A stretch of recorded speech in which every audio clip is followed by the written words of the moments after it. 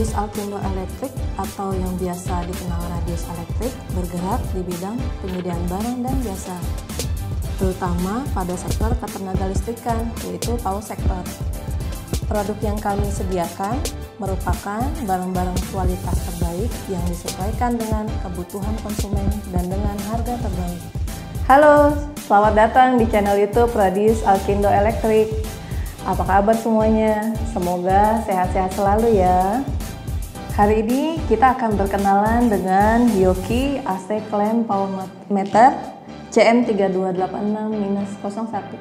Penasaran dengan isi box CM3286 ini? Yuk kita unboxing bareng ya. Dapat soft case atau tasnya. Lalu isinya ada unit CM3286-01 kabel prop warna hitam dan merah. Atau sini dulu ya. Alligator clip serta manual instruksi berbahasa Indonesia dan juga bahasa Inggris serta sertifikat yang membuktikan bahwa CM3286-01 ini original, asli dari Hyoki.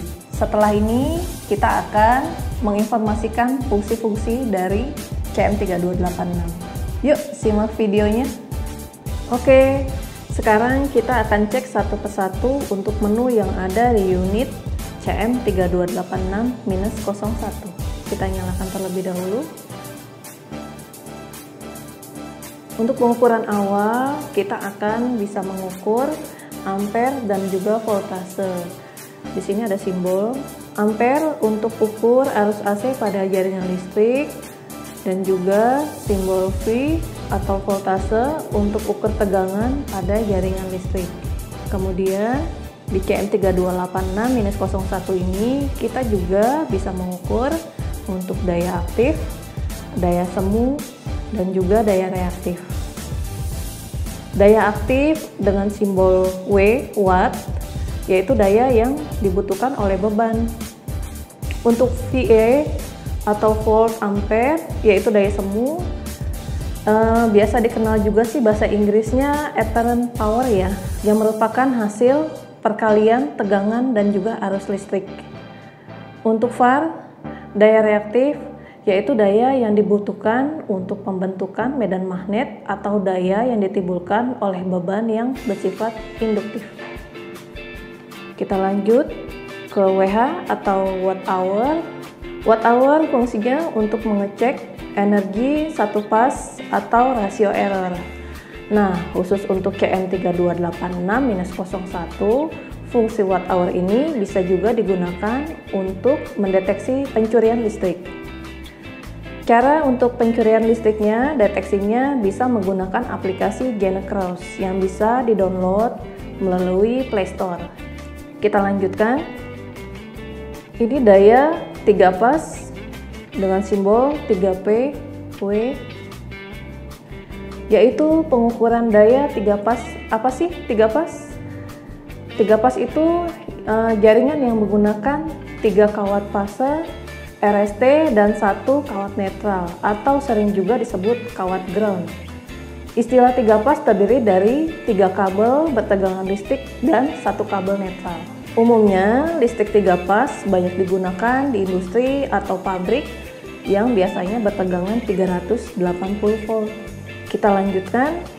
Pada pengukuran daya tiga pas, kita mengenal balance dan unbalance. Unbalance artinya masing-masing daya per line tidak seimbang. Nah, balance kebalikannya, daya per line seimbang. Tinggal kita sesuaikan saja pengukurannya, mau balance atau unbalance. Kita lanjutkan ke fase detect yaitu deteksi putaran fasa, ada juga yang sebut fase sekuen.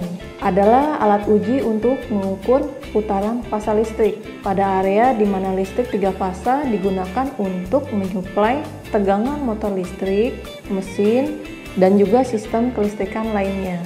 Nanti saya akan tampilkan scene perbandingan CM3286 fase sequence-nya dengan fase sequence Hioki PD3129-01. Kemudian di tombol bawah ada tombol shift dan hold. Fungsinya untuk shift, jika kita menekan satu kali, ini untuk memilih simbol-simbol yang berwarna biru di menu switcher. Jadi misalkan setelah kita mengukur ampere dan kita mau mengukur voltase, kita arahkan ke sini dulu ya tadi ya, langsung. Menu switchernya akan berubah ke voltase. Begitupun kita ingin mengukur yang awalnya daya aktif, ingin mengukur VA, VA kita arahkan lalu tekan tombolnya akan berubah ingin ke daya reaktif kita tombolnya pencet lagi mengarah ke VAR atau daya reaktif untuk di pengukuran daya 3 pas, tombol shift jika ditekan lama akan mengganti fungsi 3 pas 3 wire menjadi fungsi 3 pas 4 wire seperti ini. Selanjutnya untuk tombol hold, fungsinya untuk menahan nilai yang terukur pada saat itu. Kalau mau merubah ke auto hold, tekan tombol yang lama kurang lebih 2 detik. Seperti ini. Tombol hold akan berkedap-kedip.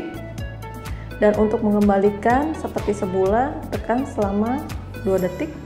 Jika sudah tidak berkedip, berarti manual hold.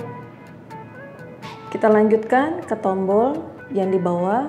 Ini untuk tombol light atau lampu. Dan jika ditekan lama, akan ada tanda Bluetooth. Ini menyambung ke aplikasi Genecross yang bisa kita download melalui Play Store di mobile phone. Lalu ada tombol max atau min yaitu untuk menampilkan nilai maksimal dan minimum. Untuk tombol range untuk mengganti range pengukuran baik range voltase ataupun range ampere. Untuk diketahui produk CM3286-01 sudah QRNS dan seperti yang tadi saya jelaskan ada fungsi bluetoothnya yang mengacu ke aplikasi